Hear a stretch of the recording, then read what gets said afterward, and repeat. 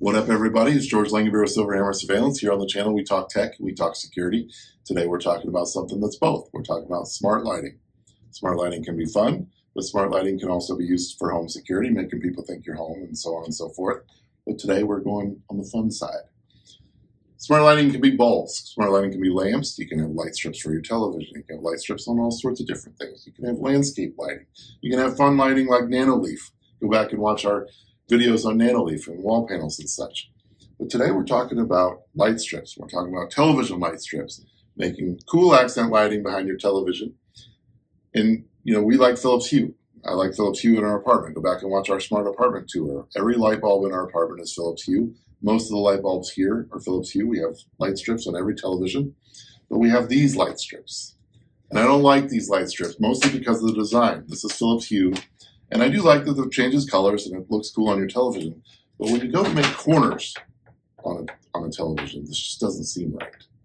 It bunches up and it just doesn't fit right. So this, this new gradient light strip, not only is it cool, what does gradient mean? It means that you can actually have this go to your television and it actually changes colors within the light strip. This old one just went one color. It kind of went to what was on the screen, but it stayed one color. This actually kind of is gradient. So screw this thing. We're going to move on to the new one and uh, see what it's all about. So we're going to unbox it. And how are we going to make this work? We're going to make it work with a cool device made by Philips Hue called the Sync Box, the Play Sync Box. And this box is necessary to make it go with your television. So you can do Philips Hue bulbs and light strips and everything else and just make them change color normally, but to get it to go with what's on your actual television, you need this box right here. So we're going to unbox this as well and install that first and then make this work and see how cool it is and see how, how that design works and see if it's any better than the one that I just tossed aside. So let's get started with the unboxing.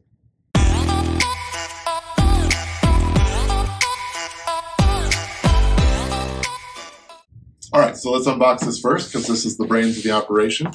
Uh, again, this is the Play Sync Box, and it's just a device that kind of goes behind your television or with your other components, and it allows everything else to work as far as going with your television.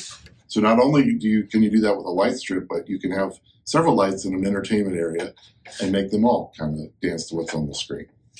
So when you open the box, you got the play box itself, and uh, pretty substantial box, feels good, and uh, you've got four HDMI ports on the uh, for input, and then you got one output to go to your television. So you can actually hook up four HDMI devices to this.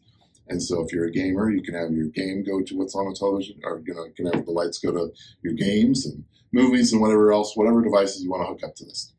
So you got the, the box itself, you got some documentation, comes with an HDMI cord for your output. So this is what's going to go from the output to your television. And then it does require power. So you've got your power brick here and your cord for the power.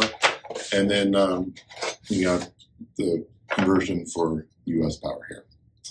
So that's basically all that's in the box for the, the sync.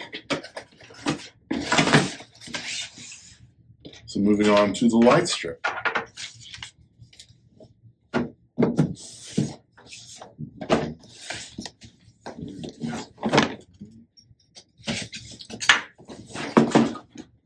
So I really am hoping that uh, the design of this makes throwing that away worthwhile. But I can already tell. Just the way it curves, these are just, you know, they're sleeker looking, they look more modern. Not that you're going to see them behind your television, but I can just tell already that this design is going to make me happier. Um, but anyway, you got the light strip itself. Uh, just keeping it in shape. Some documentation. And what we got here? All right, so you got your power cord.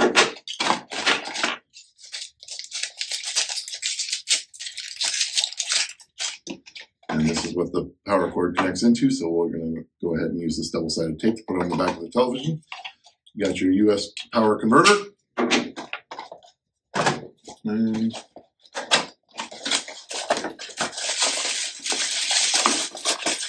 All right, so another thing about this light strip compared to the old one that I tossed aside is the way it's mounted. So that one you just use double-sided tape, and that's where that problem happened on the corner. If you've ever uh, installed one of those, you know what exactly what I'm talking about. Well, between the way this is designed and these brackets, which have double-sided tape, they go on the back of your television and it guides this in the direction you want it to go. So instead of trying to have to mess with that old thing, this is going to help out a lot. So we'll see how it works in the actual application of doing it. But um, I already have high hopes and I can already see that this is a step in the right direction. All right, but that's pretty much it. So let's go ahead and set them both up. Okay, so in my particular case, I'm going to put this on the wall because that's where I have everything plugged in behind my television here. So I went ahead and put in Gorilla Tape on the middle here, and so I'm going to mount it back there. But you can put this on your console, your component shelf, whatever you want to do. And again, you want it within range of your HDMI cables on your television. So I'm going to, um, like I said, just mount that back there. And I'm going to have it to where my HDMI cables are accessible. And I'm going to put it on there like that. And then you've got your uh, HDMI cable that came with it. And you've got your power cord. Power cord's pretty straightforward, obviously. That's just going to plug into power, which I have on the other side of the television, which we won't bore you with. But uh, you'll just plug that in. And then your HDMI cable, you're going to want... Um, so I've got HDMI coming in here from my Apple TV. I'm going to just take that to one of the inputs on this instead. And again, you've got four inputs. And I'm going to take my output cable that came with it, and I'm going to take that to the same input that my Apple TV was going to, and uh, just basically swap those out. Now, in my particular case, I have Sonos going to this. I'm going to leave my Sonos alone, um, just to keep the sound going through my television. But any other components you have, like Xbox, PlayStation, whatever it may be, you could put them in one of those four ports on the sync box, and that way, when you're playing games and stuff, you're going to get that color effect. Whatever's playing on your game, you're going to the light's going to change that color. So again, you don't really need to mess with it if it's just sound, but uh, if it's a component that you want to use with the light strip, you want it in one of these ports. All right, so basically I'm just going to plug this in and then add it to the app. So after I plug it in, we'll be back in a second. Okay, so we got our power plugged in, we got our HDMI cords plugged in, and then uh, what you want to do is get the, the Philips Hue Sync app, which is separate from the Philips Hue app, which we already had because we got Philips Hue all over the place. So here we are. We're going to get that app. And then welcome to Hue Sync. We're going to get started. Is your Hue bridge set up? So basically, if you're new to Hue, you're going to set up a, what's called the Philips Hue bridge, which is what controls all your lights. We've already got ours set up, so we're going to hit yes. Is your Hue Sync box hooked up? Yes, we already did that. We're going to say yes. And is it indicator flashing? Yes, it is. I'm going to accept the terms and conditions, and then we're going to connect the sync box. All right, so it's going to search for it. Hold it within one foot. So again, we got it right behind our TV here. Ask me if I want to pair with Bluetooth. I'm going to say yes. Then it's going to ask me to set up my Wi-Fi. I'm going to select my Wi-Fi network. I'm going to put in my password. All right, so put in a wi- Wi-Fi password connecting to our Wi-Fi.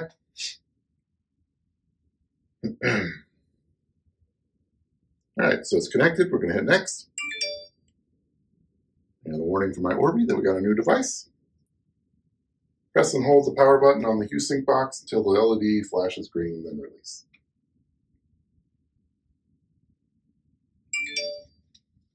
All right, we're successfully paired.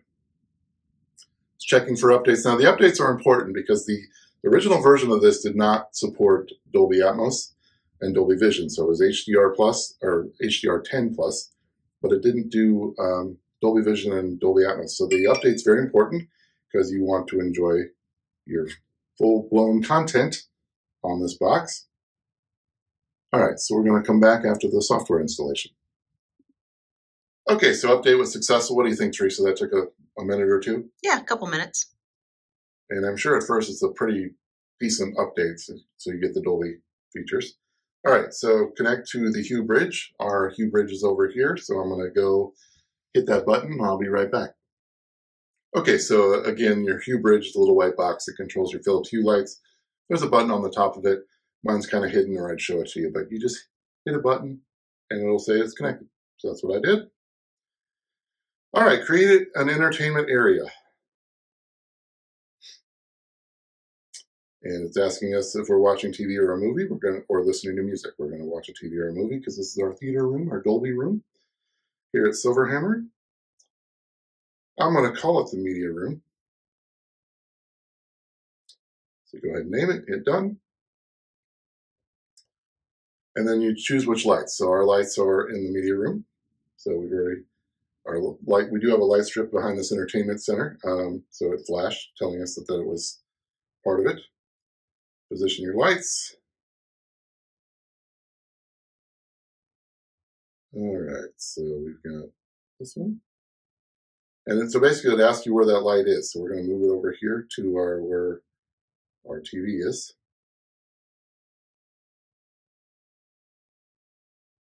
And then it asks for what height. Um, so you got basically the ceiling mount, the TV level or lower.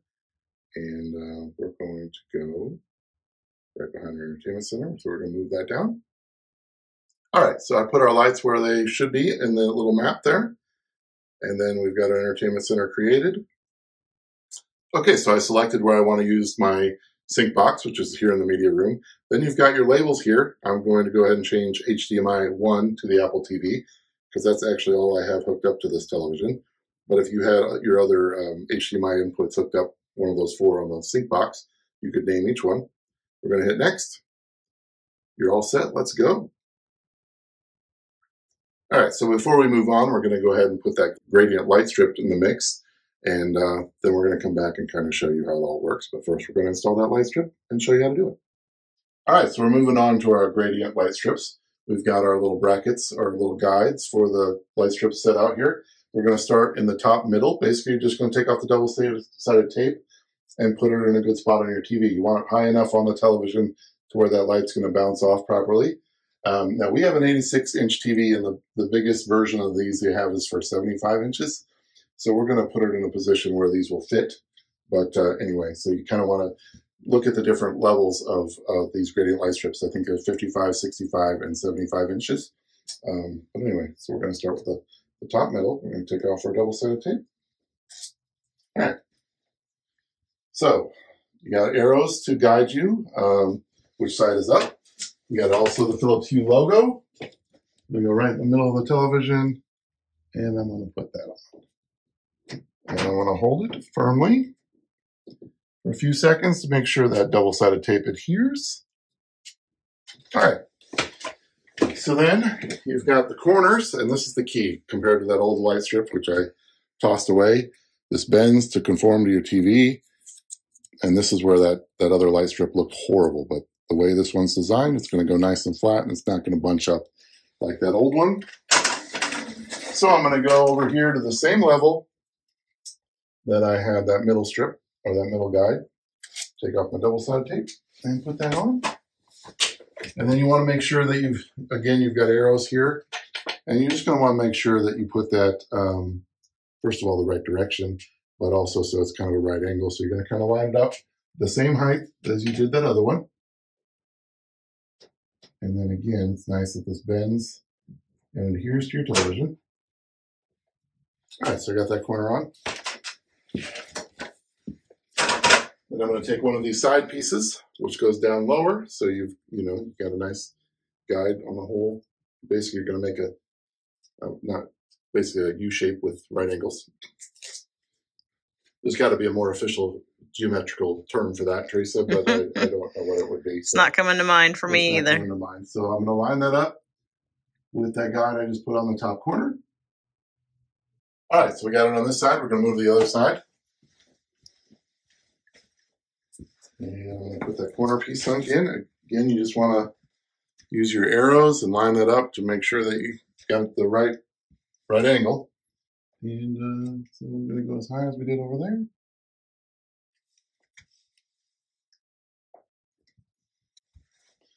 All right, and then again, you got one more side to put down low on the other side.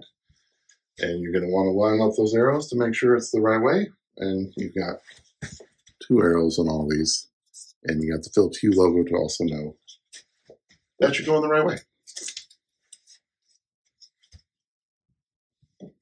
All right, so those are on there. We're going to grab our power and our light strip and plug it in.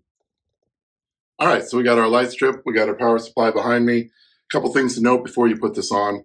You got two ends here. You got an end with nothing. You got an end with the power cord. So just kind of map that out ahead of time so you put this on the right side with your power outlet. And then if you look in the middle of the white light strip, there's an arrow and both of these are pointing up. So you just want to have those pointed up. So we're going to start in the middle. I'm going to lay it out. I'm going to have those arrows right in the middle. And it's kind of hard because it's an 86 inch. So, all right. And then once they're on there, kind of just resting, you're going to put them in their wire channel.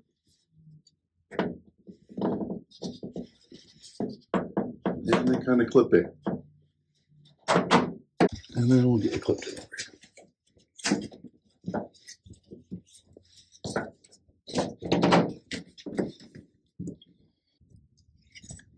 All right, so we got our power box. I've taken the double-sided tape off. We're going to plug it into that. Actually, I'm going to hold off for a second. I'm going to plug it into the light strip first. I'll plug it into that.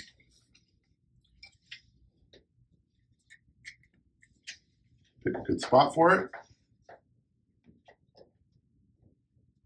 And plug it in.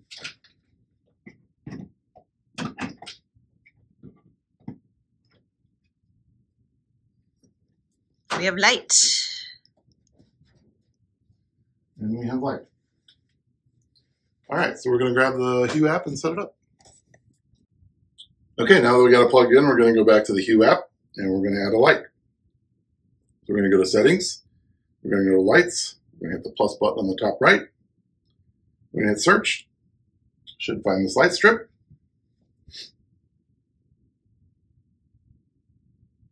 Searching. All right, so hit start configuration. It found it. I'm going to call that the TV gradient light strip.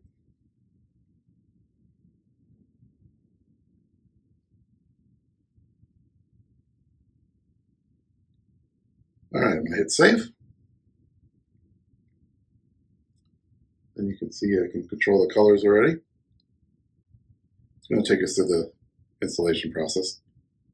So I could have plugged that in ahead of time is what it's saying, but we're, we've already done it. It even takes you through this installation process with videos, telling us to make sure that the sync box is up to date, which we did when we installed it. And we're going to hit finish.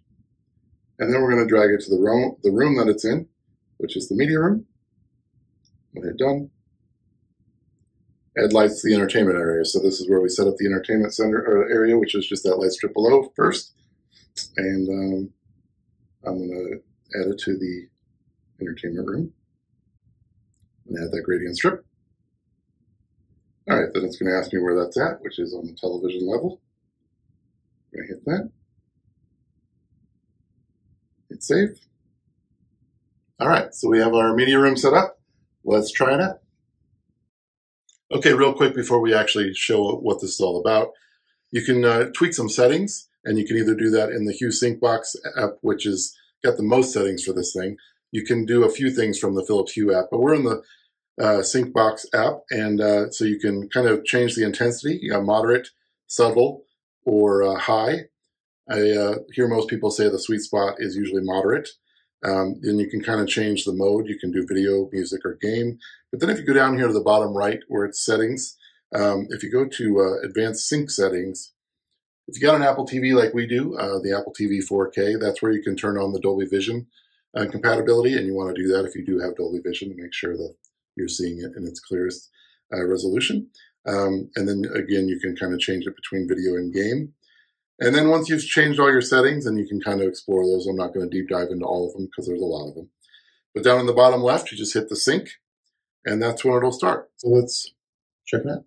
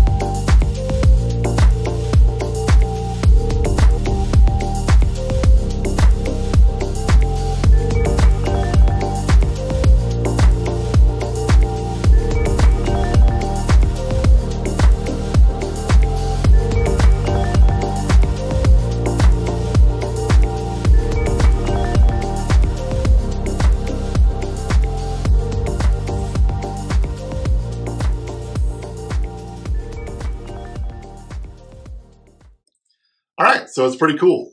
Um, I can say that the design is much better than their old light strips. I love the gradient part of it. We couldn't play a TV show. I was worried about copyright, so I didn't want to worry about that.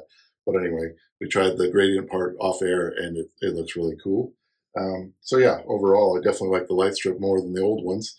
The Hue Play Sync box, very cool. I love the fact that that you know the update was a while ago, but you know if it was still 1080p and didn't do Dolby Atmos and Dolby Vision, I, I don't think I'd want this, but since it does now, very cool. But yeah, so we'll be enjoying movies in here in our Dolby room and TV shows with our our sync going on. All right, so hopefully you enjoyed this video. Smash the like button if you did. Subscribe to the channel. Come back for the next one. Hit that bell notification so you get notified of the next one. And uh, we'll see you then. Peace and love.